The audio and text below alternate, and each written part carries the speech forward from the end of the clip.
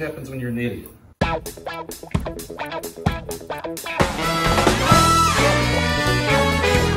All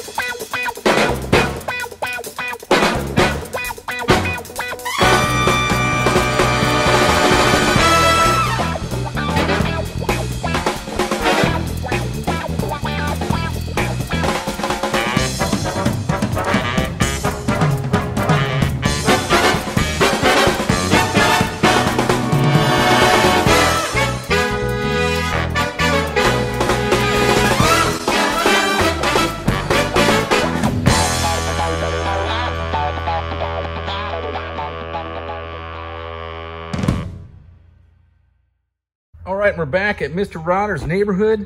Uh, we got the uh, EZ 302 on the start stand. Everything's kind of temporarily put together and out of the way and pretty much bolted up. Let's, uh, we're going to make some noise in here in just a few minutes. I just wanted to give you the rundown on all this. Uh, so like I said, I was just going to use a Q-Jet. That's actually from a 305 Chevrolet from like 78. Uh, it's had a couple mods done to it, like the adjustable part throttle at the top. It's been knocked out and has a plug in it, so you can adjust the throttle. It's or the uh, uh, the primary metering rods up and down. Um, it's it was set up. I had it on 300 Buick, believe it or not. Um, the distributor I had to rebuild. The wires are used. Everything's marketplace pieces.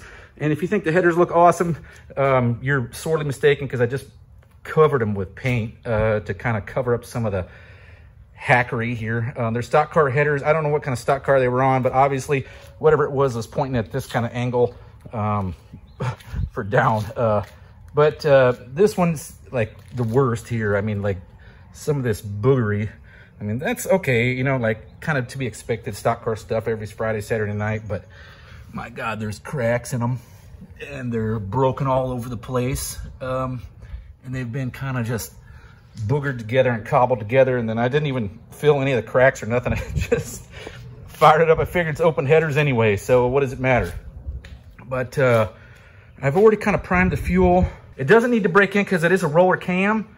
Um, so I don't have to do a camshaft break in, but um, we're just gonna put it on the start stand, let it warm up, get everything adjusted once it's warm, and uh, see what happens from there.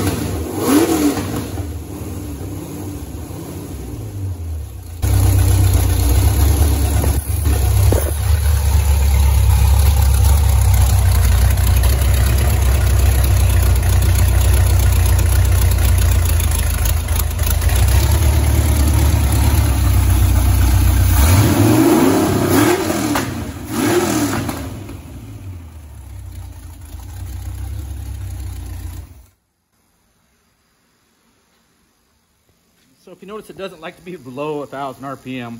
Uh, maybe that's just because of the camshaft, um, where it's set up at. And it's got a carburetor instead of fuel injection. And it's only 302 cubes instead of a 350 uh, LT4 motor.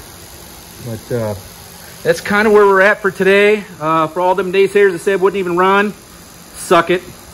I'll see you guys on the flip side.